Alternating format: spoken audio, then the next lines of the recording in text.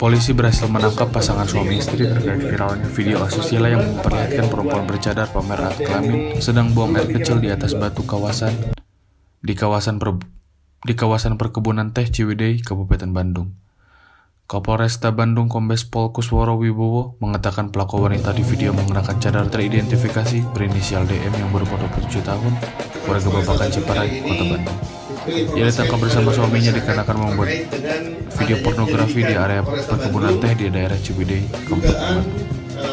Berdasarkan hasil penyelidikan Polresta Bandung, lanjut Kusworo, kasus ini terungkap bahwa video asusila ini diperjualbelikan di media sosial. Kami runtut sampai dengan kami mendapatkan akun dari si penjual belikan. Adapun yang memperjualbelikan itu adalah masih anak di bawah umur, usianya masih 17 tahun. Jelasnya. Kemudian, polisi mendapatkan identitas seorang yang ada dalam video tersebut, maka Polresta Bandung melakukan pemeriksaan kepada wanita bercadar, DM, yang berumur 27 tahun.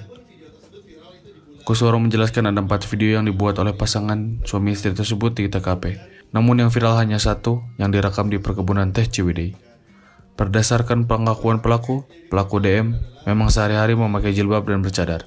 Atas perbuatannya, DM dan RM pasal 29 Jo pasal 34 Undang-Undang Republik Indonesia nomor 44 tahun 2008 tentang pornografi dan pasal 45 Undang-Undang Republik Indonesia nomor 19 tahun 2016 tentang perubahan atas. Undang-Undang nomor 11 tahun 2008 tentang informasi dan transaksi elektronik dengan ancaman 12 tahun penjara. 17 tahun ya. Dan dari situ kami sentuh kami lakukan pemeriksaan kepada yang bersangkutan.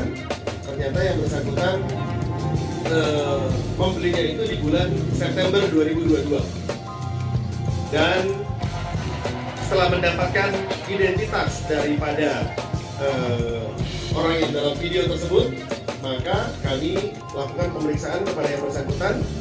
Inisial DM inisial DM usia 27 tahun ya. Dan pada saat itu kami mendapatkan informasi bahwa wanita ini DM usia 27 tahun ini eh, diminta oleh suaminya untuk melakukan perbuatan tersebut. Agar melakukan buang air kecil kemudian agar jarinya berada di kemaluannya kemudian divideokan oleh suaminya. Yang tujuannya awalnya adalah uh, untuk konsumsi pribadi untuk koleksi pribadi koleksi pribadi si suami. Itu pada bulan Juni 2022 ya. Selang satu bulan bulan